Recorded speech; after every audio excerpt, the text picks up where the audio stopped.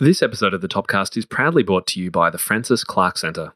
Whatever you're doing that works well with the body, with the, if the body's working in the, in its most effective way, then that is also what produces the best sound. So there isn't one type of teaching which is healthy piano teaching and it produces a sort of floppy sound. No, it's not. I mean, I, I, what we're aiming for is the most varied, most interesting qualities of sound so that people can do whatever they want musically.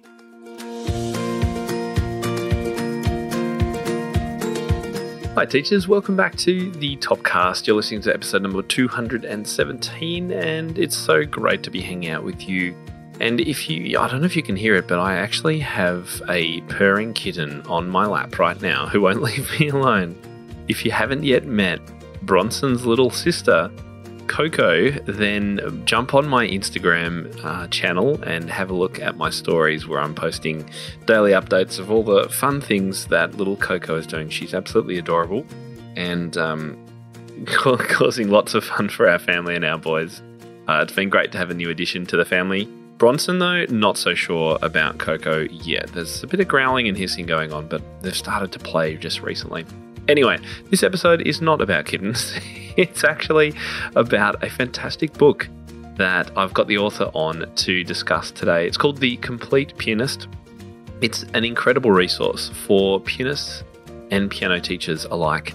And my guest today is the wonderful author Penelope Roskell from the United Kingdom. Now, before I introduce Penelope, I did want to let you know that as the episode is dropping today, the 20th of November, we have introduced our Marketplace Black Friday sale. Yes, I know it's not Black Friday, but what we're doing is running a week long promotion up until Black Friday. So from the 20th to the 27th of November, if you head over to the Top Music Marketplace, you can get 25% off is uh, for any orders over $25. So 25% off for $25 spend, and you can use that as many times as you want. The coupon code's on the site, and I really encourage you to jump over there and go and have a look at all the great goodies that are now available from our over 100 sellers and almost 1,000 different items. It's absolutely going off, and I hope you'll go and check it out during this period. The address for that is topmusicmarketplace.com. As usual, our show notes and transcript are going to be over at topmusic.co slash episode 217. Now, we do have a freebie for today. It's actually a giveaway. I actually have a copy of today's book. Now, today's book is a big book. It's quite heavy and it's about two inches thick. So, unfortunately, our giveaway this week is only available to Australian listeners because I, oh, it's going to cost too much money to send this book internationally.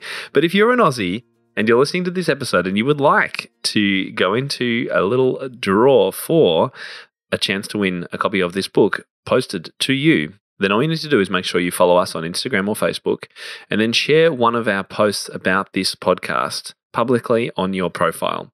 And make sure you tag our account either on Facebook or on Instagram. That's topmusic.co. And use the hashtag Topcast giveaway.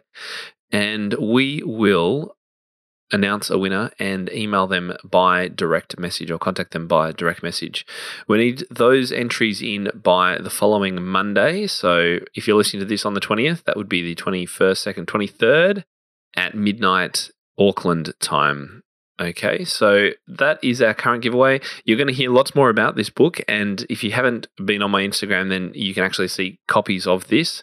I've been talking about um, The Complete Pianist in my stories and things. So it's a huge and incredible resource. But as I say, it is quite heavy. It's going to cost a lot for us to post. So just for our Australian listeners, look forward to seeing those entries come through. My guest today Penelope Roskell is an international pianist and professor of piano and pedagogy and at Trinity Laban Conservatoire in London. She's the author of The Complete Pianist, the book we're talking about, From Healthy Technique to Natural Artistry, and of The Art of Piano Fingering. She's also the foremost UK specialist in helping pianists prevent and recover from injury. Well, welcome to the show, Penelope Roskell. So great to have you here today. Oh, it's lovely to be here. Lovely chatting to you and, and to all the listeners as well delighted. It's it's been quite a while. We've we've tried to get you on the show a few times, and there's been a number of things that have cropped up. So I'm glad we've made it work today. Can you just tell us a little bit about yourself? I know you're based in the UK. You're incredibly well known. Um, you've written an amazing book we're going to talk about today, but give us a little bit of your background and tell us about your teaching at the moment too, where you're teaching and what kind of ages and that, that sort of thing.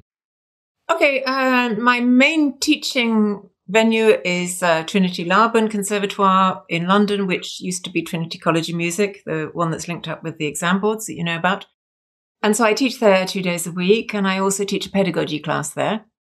And then aside from that, I do lots of online work, uh, workshops, classes, uh, lessons for a wide range of people. And a lot of my students are also teachers. So we talk a lot about pedagogy and how we can use a lot of my ideas and, and they use them in their teaching and so on. So I've got a, it's quite really interesting. I'm doing lots of work online at the moment, and uh, yeah, I'm really enjoying it. Did you move your university level teaching online in the pandemic, and are you still online?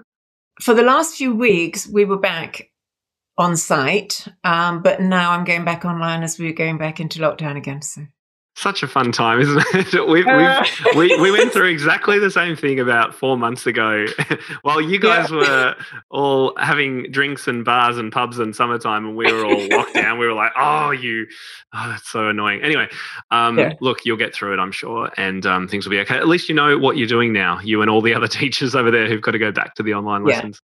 And I'm fortunate because I can do lots of things online. I've got good internet and I'm doing lots of classes online. I've got a, a, workshop I'm doing tomorrow. So, you know, I've got lots of activities going on. So it hasn't affected me too badly, but it.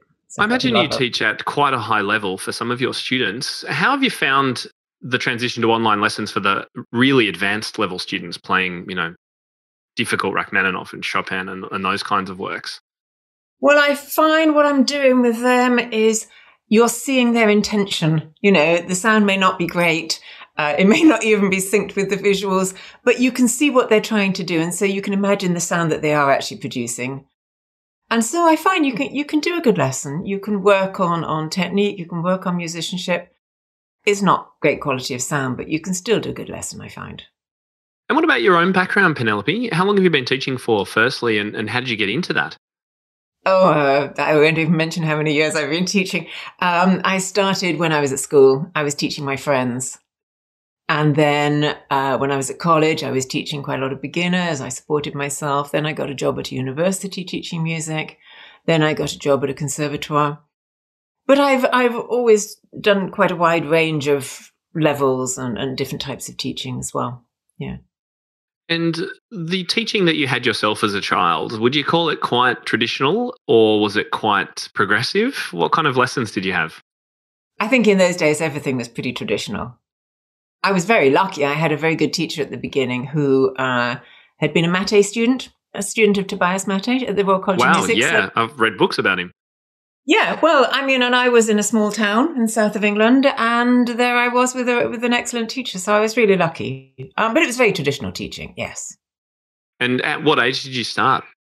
Uh, six. Six, okay. And then right through your teenage years, and then pretty much straight after school, you studied music and went into teaching. So you, you've been in music and teaching education right through your career. Absolutely. Yeah. Yeah. I've always felt that teaching supported my playing and playing supported my teaching. So I've always done both. Mm. How have you seen? I mean, you've been teaching there for for, for a, a little while, not too long. um, how have you seen teaching change from your perspective over the last 10 years in particular? I think a lot of things have changed for the better. I think, I think teachers are more imaginative, they're kinder, they're more supportive, they're more flexible. I think in the past, people taught in one way and they taught all their students in the same way. Everything was taught by, by, uh, you know, note reading was absolutely the most important thing. The technique was quite mechanical. And I think I don't think you can teach in that way anymore. Students have got so many other distractions and attractive things to do that you have to make the lessons much more, much more engaging and much more enjoyable. Mm, I'm amazed when I hear about teachers who, because I'm, as you know, quite quite progressive and I love all the creativity and the yeah, yeah. let's go with let's follow students and give them the what they want as well as giving them the the education we know they need. And and some teachers are still just adamant. It's like, no, the the traditional, the technique, look, it served us well for 200 years. It should still work now. But kids these days are different, right? Yeah. And I think we've also learnt a lot since 100 years ago about how to play the piano, about how the body works and how, how the body functions and how to use the body at the instrument and how to create a beautiful sound. And I think teaching has changed a lot. And I think it still needs to change more. Yeah. How would you see it change, needing to change further?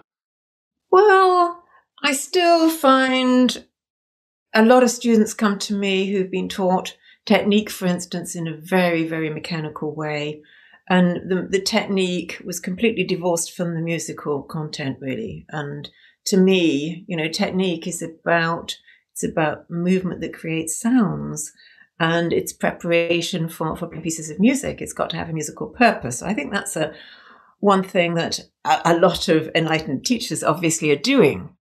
But there's still a, lot of people teaching in, in in the, in the old ways really. Yeah. One of the challenges I think when it comes to technique, uh, particularly piano technique, is there's so many different ideas about it and schools of thought and books and approaches and websites and courses. and, you know, one will say this, another will say that. I, and I've interviewed, I mean, this is my 200th and something episode. I've interviewed a lot of people about technique. And while there are similarities and things that we all do agree on, there's also a great range how should teachers go about working out what is the right way? Is there a right way? I'll go straight on to my book here. Um, no, it's a good segue. Go for it. Yeah, because what I what I've been trying to do there is to really work out, and I've been working on this for forty years now, on what is the most ergonomic, the most efficient in terms of uh, biomechanics. What's the most healthy way to play? And what I've discovered in the process is that whatever you're doing that that works well with the body, with the, if the body's working in the, in its most effective way, then that is also what produces the best sound. So there isn't one type of teaching which is healthy piano teaching and it produces a sort of floppy sound. No, it's not. I mean, I, I, what we're aiming for is the most varied, most interesting qualities of sound so that people can do whatever they want musically. Mm. And that comes about by really knowing what we're doing physically and using the whole body in a coordinated way. So, for instance, that the hands are really supported by the the upper arm and the and the, the, muscles of the back when we need it for something really strong. You know, if we're doing Tchaikovsky concerto or something, you can't just do it by just using your fingers. You have to really use your whole back to to produce the fantastic sound. So it really it really does depend on a few things, right? The the work that we're doing, the music that we're engaged in, but also everybody's bodies are different too. So there are fundamental biomechanical movements, mm-hmm. but there's also differences between people's bodies. And I'm sure we'll, we can talk a little bit more about that in a moment. I did want to introduce people to your book, which I have here. I can barely hold it with one hand, Penelope. This is an epic work. I, I, now know you've said it took 40 years. I can tell why. So the book is called um, The Complete Pianist From Healthy Technique to Natural Artistry and you released this this year, I think, in 2020. Yeah, is that right? Yeah, yeah. Just lockdown it's, started. Yes. Yeah, it's over 500 pages, and really, I mean, we could do a podcast. I think every day of the week and spend an hour on each chapter with no problem at all. We still have more to talk about. I mean, this is quite an epic work. What made you decide to write this? Was it just about the fact that you see so many teachers struggling with this or students struggling and you just want to want to help uh, what was the yeah, sort of exactly catalyst? I, and you know i remember all the things i struggled with when i was younger and i see people still struggling with the same problems.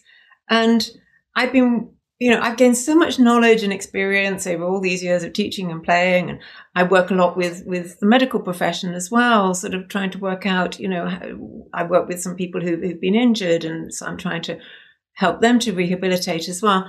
And I just got so much knowledge from all of this. I just wanted to share it with these people, with everybody else, so that people could avoid some of the problems that I had. And it's been great because quite a lot of friends of mine who are professional musicians, the first comment they made when they looked at the book was, I wish I'd had this book when I was younger. it would have it would have saved me a lot of time and a lot of agony of going down wrong alleys and making terrible mistakes sometimes. Yeah. And who do you see the book being for? More teachers or students themselves? I aimed it more for people who were grade six ABRSM sort of level and above, and their teachers. But and it goes up right up to professional level. There's a lot of things that professionals gain from from reading it as well. I, but I do include a lot about beginners and intermediates as well. But it's aimed, but because it's such a big book, it would be very overwhelming for them. So I really aimed it more for their teachers and to give them some ideas about how to adapt some of the ideas for, for all different levels. Because I, I very much believe that if you've got the foundations right in piano playing, you know, if you've got the movements right, if your if your body's well coordinated right from the beginning, then all those same techniques really go with you right the way through into, you know, being a music student or even being professional. The movements are very similar, whether you're at beginner's level or whether you're quite advanced. Uh, I've actually forgotten what the question was. What was it? I, it's fine. I, I, was enjoying your response anyway. I was going to ask, how long did this take to write? I know it's 40 years of work, but how long did it take to actually, when you decided, okay, I'm going to turn this into oh, a book? Yeah, it was 15 years ago I started writing sections of it. And um, those I put out as articles in, in a kind of professional magazine in, in the UK. Mm. And then five years ago, I started writing it almost full time. Uh, and it, yeah, it took me that long. Going back to your question about who it's for, mm. what I'm currently doing at the moment is preparing some books for beginners, which are using a lot of the ideas from, from The Complete Pianist but they're books that um, teachers are going to be able to use to put those ideas into practice with their students so they can give the students their, the books mm-hmm. and it'll it can be used alongside any tutor book and it'll just have lots of ideas on on fun things to do with technique okay like a companion to a teacher's method book approach yeah yeah yeah, oh, I see, yeah. fun fun activities for which uh, serious technique but in fun activities yeah mm. I mean, my the concern I have for teachers is because we're all time poor, short of time, I should say, that it's it's so big they may not know where to start. What would you actually recommend? Okay, I know most of your listeners are teachers, and so right at the very beginning, I put a chapter for teachers. Um, so I'd really start with that that chapter. Read read because that's an introduction for how to use the book. Then, I mean, some people actually um, start from the beginning and have read it all the way through. It takes them quite a long time, but they've really appreciated it. Others just use it more as a reference book and pull it off their shelves when they've got a particular problem. So what you could do say you've got, um, you know, say a student was struggling with an Alberti bass or something, doing a fast Alberti bass. You could go for that chapter. But what I would really recommend is that you sort of go for that section because there's a section on rotation. So the sort of section on rotation leads into the Alberti bass. So, you know, I would suggest that they, you know, there's an index and you can look up, you know, contents page and so on. So anything you can just dip in and out when when you find that you've got you're not quite sure how to teach something or how to do something yourself. So it becomes um, a reference there. The answer should be there. yeah. Yeah, so I, I think it can stay on people's shelves for years, and they can just dip in and out when when they feel they need it.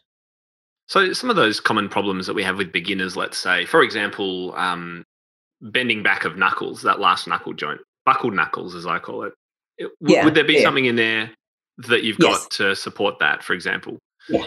Yeah. There's exercises for every problem that you you right. can ever flat fingers. there's there's, there's 250 exercises for collapsing joints get strong. So there's exercises for strengthening the hand.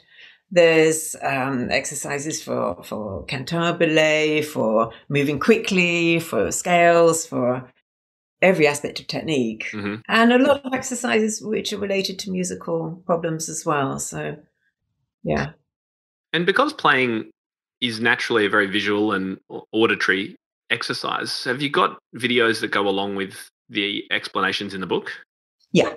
So there's 300 videos and you wow. access them. By... that would have taken a long time. I know how long it takes to record videos. That's that's epic. They're quite short. So I've I recorded all of them, and the, you they've got a QR code, so you can either access them on your phone or you can just um, open open up the website and just watch them on the on the, the website and just. Oh, great! So you're looking at the the knuckle issue or whatever, and I can see here. I'm just holding up a, a copy of the book, online demo video 10.22, available at Edition Peters slash Complete Pianist, or you can just scan the QR code while you're in the book on that page. Yeah. And you can watch what you're demonstrating. Yeah. Yeah. This episode is presented in collaboration with our friends at the Frances Clark Centre. The Frances Clark Centre is a non profit organisation committed to providing the highest quality resources for piano teaching, learning, and performing. With an array of relevant online content, including free webinars, teaching videos, digital access to the Piano Magazine and Clavier Companion, and an online concert series, the Frances Clark Centre provides you with the tools you need to succeed as a piano educator in our rapidly changing world. Their online courses include comprehensive study on topics like teaching online, teaching beginners, and inclusive teaching. A new course on teaching pieces by black composers will be released in December 2020. The Frances Clark Centre also invites you to participate in NCKP 2021, the Piano Conference, a virtual event celebrating the transformative power of music. Experience over two weeks of interactive programming, sessions, and networking opportunities to connect with colleagues worldwide in July 2021. Register at nckp2021.com. That's nckp2021.com. For more information on Frances Clark Centre's offerings, visit claviercompanion.com. So take us through the the main. What would you say the main sections are of the book? How have you kind of laid out this? Okay, I did it slightly differently to to the sort of traditional way because I think most people start with finger touch, and I wanted to say, well, you know, unless you're sitting well, unless you've got a good sense of the whole body and a, a sort of broader approach, then it's very difficult for your fingers to work effectively. So I started with quite a sort of uh, uh, talking about how we use the whole body at the instrument and do some warm ups and things like that. Then I went on to different types of touch, mm-hmm. finger touch, uh, and so on.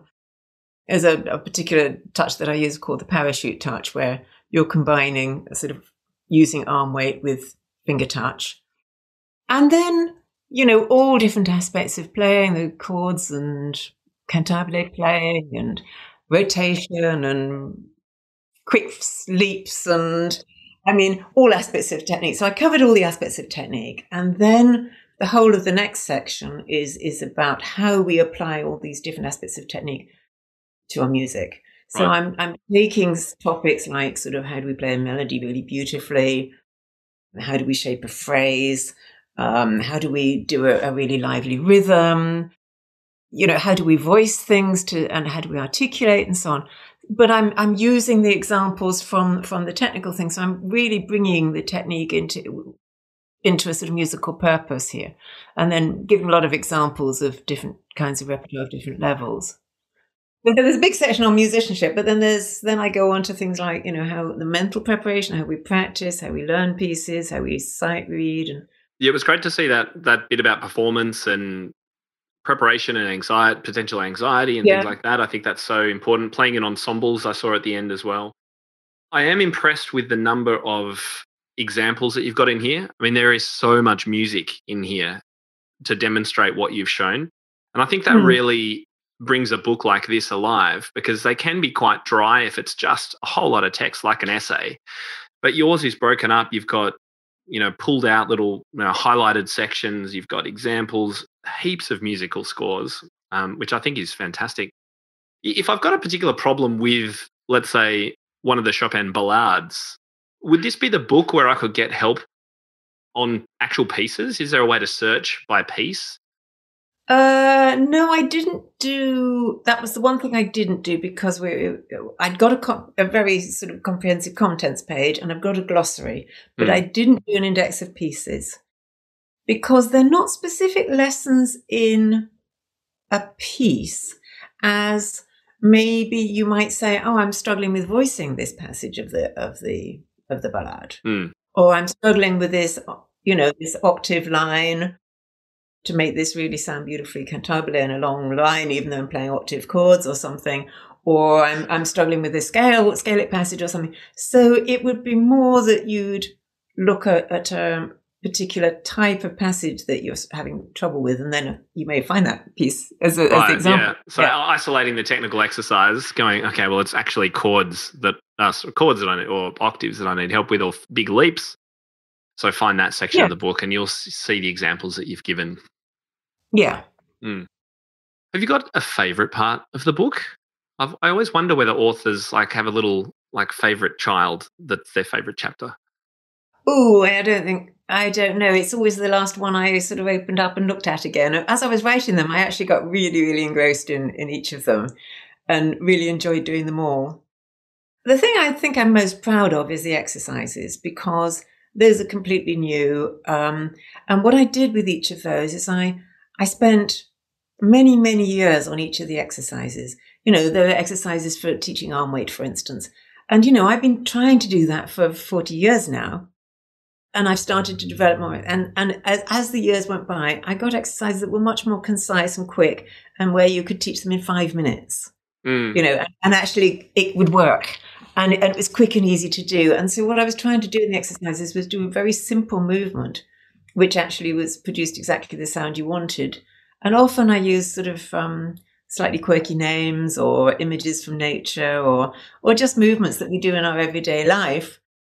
I was showing one um, to a student today where she she was actually having to do a rotation, a quick rotation out outwards onto the fifth finger, and I have a I have an exercise where you're just chucking your cup out of the car window, and it's Oh, actually exactly the movement that you want in, in a in a, very exaggerated way. Mm. Um, so one can make it quite fun. Uh, it looks like a terribly serious book, but actually the exercises can be made fun for, for, for students so they actually want to do them. You know, Mm. they're, they're not lengthy mechanical exercises. They're things where you're exploring what it feels like to play the piano and what it sounds like.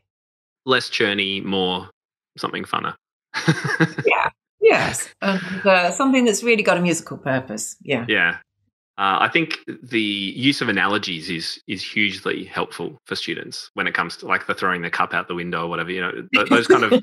Well, I've never thought of that one, but those kind of That's relationships actually- with it, it works. yeah with things that that students do. I, I know the piano safari method uses the idea of a lion paw for arm weight Mhm. notes. You know, kids can picture a big fat of a lion landing on Mhm. the key. You know, those kinds of things. I think I think that really does help. So giving things names um, is certainly useful. So Penelope, you've got, as you say, forty years plus incredible teaching experience. You've written this in, amazing book, which honestly I, I think will stand the test of time, and I think will be remembered and followed for decades to come. Just as we have, you know, I, I remember reading the Leschetizky method, uh, the books on Chopin's letters, and all those kinds of things. I think this one's going to stand there because it is so comprehensive. There's nothing in there that you haven't covered. So, congratulations. I think it's phenomenal. But given all this experience you've got, can you give us some mistakes that you commonly see teachers making that you would love to correct and have them think about? Well, as I said before, it's it's too much mechanical work.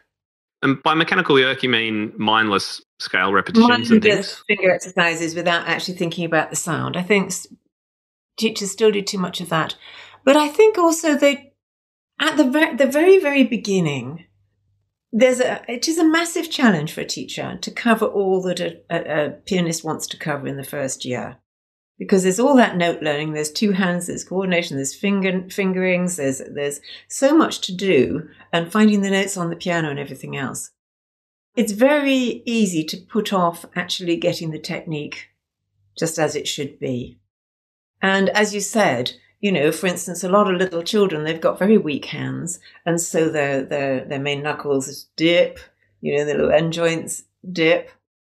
Or or they might get very tense. And, and then what often happens is relating to that, because their hands are weak, they do is they start to press very hard from the arm and they tense up the wrist in the process. Mm, So, you know, one problem can lead to another problem. And I think what we really need to do is to try to address those as we're going through all the other issues that we're going through in the first year of learning. And that's what that's why I'm trying to produce these uh, beginners books Mm. to give some people things to work on because what I think we tend to get a bit stuck in is, is working around the middle C position. And the trouble with that is it brings the elbows in, it brings the shoulders up, and hands get twisted. It's a very unnatural position to play. It's a very unnatural position to be in. Yeah. yeah. So what we want to be doing is with our with our students right from the beginning is making sure that they've got real freedom of movement all around the piano, mm. so they can move forward and back. So so you know I, I include a lot of um, black notes in the beginning, a lot of it by rote. So they just get, and then I, I, call this exercise, which is just dusting the keys, where they're just swishing around. Oh, yeah. I call it elastic elbow, you know. So they're really getting confident with using the whole piano. And it's much more fun too, because otherwise, mm. if you just play these boring five finger exercises, it really doesn't give you much variety of sound. Mm. So I think um, exploring exploring more movement around the keyboard um, is very important from the beginning because it, it, gives that freedom of movement, which then allows them to extend into much more advanced repertoire as time goes by. Mm. And the other thing I think is really interesting to think about is that I know we actually all that actually we do eventually is depress the key. It's a tiny little movement. But behind that movement, there's a sort of whole coordination of arm movement that needs to, to be behind it. And so when I'm teaching, I use quite broad movements and I start with you, you mentioned the lion's paw. I do something very similar. So you're making quite a big movement, which then teaches the whole arm how to support the fingers. And then you minimize it until eventually, yes, you're, you're doing tiny little movements, but they're very, um, very free movements because you started from a, a bigger, broader, freer movement mm. and then minimized it. My, yeah, my teacher used that approach so make make the the movement big to start with, and very controlled and very uh, conscious. And then as things go faster, they become smaller and smaller. But and while you yeah. may not be able to see them, they've been built in to how yeah. you're playing. And Kurtág, for instance, in his Játékok, uh, I don't mm. know if you're familiar with that, but I mean, you say? very very sort of wild movements and you weren't trying to get any accuracy or any any control over it you were just trying to get free movements and then after a bit you sort of control it and, and aim more for accuracy. And um, yeah i'm i'm on the same wavelength with, mm. with that. Yeah. And what's your approach to teaching detached playing right at the beginning versus legato trying to play legato too soon? Do you find that teachers can sometimes make that mistake? Because I certainly did when I started. Yeah, I think legato for especially little children with little hands can be very, very difficult. I mean, that's how I was taught. But now, I mean, in this beginner's book I'm working on at the moment, yes, I'm starting with just using one finger. And if, if they need it, they can put their thumb, say they're working with the just, just playing with the third finger. Mm. They can just put their thumb behind the end joint so that, oh, so just, that it gives it some strength. It, it yes, strengthens the finger so that they mm. can just actually bounce on that finger. And I think starting with a detached with detached notes just encourages them also to use the arm and the, and the wrist in a in a more coordinated way. Mm. And then once they've got that, then they can start to use a bit more legato. I, uh, when I first start teaching legato, I'm doing a little bit of rolling from one finger to the next. So again, you're keeping freedom of movement and you're learning to transfer the weight. You drop the weight into the first note and then you transfer it over to the second note. So uh, I think, um, yeah, I, I, actually agree with you there that it, it's it's better to start with with detached notes and then and then work towards more mm. legato and as you say, we look back on our own teaching. My my uh, teacher, who I love to bits and taught me beautifully, she started with John Thompson, five finger, starting on middle C, reading very early on, uh, and yep. I've learned that no, there are, there are so many. We've learned so much about piano teaching and the research around it. Mm. It's wonderful to see all these new methods that are available to us. There's such flexibility and interest and, and difference in what's available mm. now to teachers. Uh, and yeah. most of them now moving all around the keyboard and including rote repertoire and, and things. I think it's it's just wonderful. It's a great time to be a teacher. And also, I think there's quite a range of different types of tutor books and so on. So, depending on who the student is and what age they are and what their personality is, you can choose a book that's mm. going to work well for them and go at a pace that's going to work for them. And so, I think we've got a, a fantastic range of material now. Yes, Yeah. we don't have to be locked into, and we should never be locked. It's the same with um, classroom teaching. I've, I was a classroom teacher as well, and it's so easy to just pull out the same book every year with the same group and just teach the same stuff. But when we're working one on one with students, you you have to choose Mm. the approach to suit that student, which is why my teenage lessons are very different to my seven year old beginner lessons. I, I could probably Of we could probably yeah, talk. Uh, piano teaching for a long time, um, Penelope. But I'm going to wrap things up. It's been wonderful to chat with you, and there's, I mean, there's so much more to talk about. Obviously, we would love to encourage teachers to find your uh, find your book. So, where should they go to find out more about the Complete Pianist? They can look on my website. That's got quite a lot of information on it. That's just just Google me and it's peneloperoskell.co.uk. Most countries, at, first, when the lockdown started, it was difficult to get it out to certain countries. But I know in Australia, I think Black Rock Music um, sell it. In the States, Peters Edition, who's the publisher, they they have a company in the States. So I think you can get it in most countries now. It's obviously you can get it from the big big uh, online companies, but I strongly encourage you to support your local music shops, which are uh, struggling at the moment. So most of them can get hold of it for you. Yeah. Yeah, that's great. And for more information about what you do, perhaps in your own teaching, just peneloperoskell.co.uk is that the best place to find out about what you're up to? Yeah, I put up information about workshops and classes that I'm doing, and I'm I'm, I'm running a, a piano teachers course uh, starting in January. Well, tell us about that. It's going to be a live one. It's a four day one Right. uh, for the teachers, uh, and then eventually that's going to be put out on on a as an online piano teachers course that you can just sort of purchase and do in your own time as well. So is that part of the piano teachers course, Lucinda Mackworth Young, or not related? no, no, Oh, it's okay. no, it's a, It's it's a your separate own. one. This Great, one is about teaching piano technique. I'm focusing on that in this one. Okay. Yeah. Wonderful. But That's great. four whole days of teaching. Piano technique, yes. In uh, somewhere in England? Uh, it's going to be online. Oh, it will be online. Even the four day in January, that will be online. Yeah. Wonderful. Oh, that's great. Okay. Uh, and I believe you've got running a workshop tomorrow. Is that right? Yes. Tell, tell us Yeah. about that for anyone that's listening and is in the UK. um, that's on on sort of building strong foundations right from the beginners. So if you're a teacher of beginners, it's showing showing ways to to build strong foundations, technical foundations, right from the first year, really. Great. And is that online as well or in person? Yeah, that's online too. Oh, wonderful. Okay. And all the information's at your website. Yeah. Great. We'll put a link in our show notes to that. We'll put a link to where you can Yeah. find the book as well. Penelope, I'm delighted to have finally connected with you. Thanks so much for coming on the show today. Oh, it's been a real pleasure. Thanks a lot, Tim. Thanks for inviting me. I hope you enjoyed meeting and chatting with Penelope today. And as I mentioned at the start, if you would like the chance to win a copy of her book delivered to you, if you're an Australian listener of the podcast, then you just need to make sure you're following us on Instagram or Facebook and then share one of the posts that we post about the podcast publicly on your profile. So tell other people about it, let us know what you like about it, those kinds of things. And make sure you tag us and use the hashtag TopCastGiveaway. And that will be decided uh, midnight Auckland time. That's Auckland, New Zealand on Monday. So we're super happy and excited to be able to give one lucky person a copy of Penelope's book. Good luck. Next week on the podcast, we are going to be playing through some repertoire choices for teen students, uh, complete with the actual piano demonstrations. So, if you've got some of those tricky teen students you're a little bit unsure about, and they like those kind of new age, minimal chord based, film musicy type repertoire choices, that I'm going to be playing through a heap and making some recommendations next week on the podcast. Can't wait to chat with you again then. I'm Tim Topham, and you've been listening to the Topcast from topmusic.co.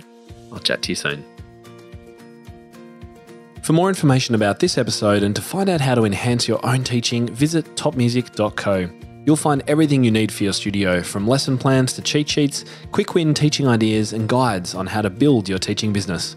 Plus, you'll be connected to a global community of the world's top music teachers.